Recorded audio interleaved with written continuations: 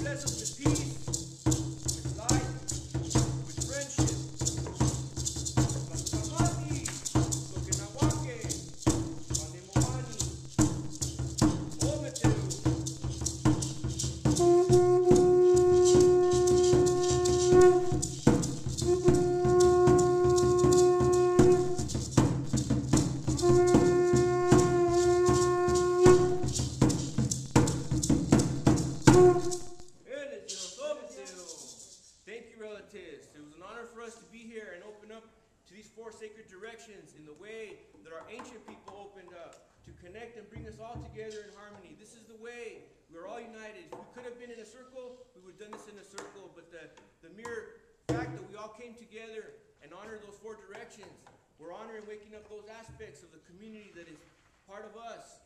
Our fathers, our mothers, our children, our, our grandfathers and grandmothers. That is what makes the community, makes us strong. We will find our solutions for those things that break our heart and hurt us, and things that bring us here and move us and inspire us for this justice. May the Creator bless all of us, your minds, your hearts.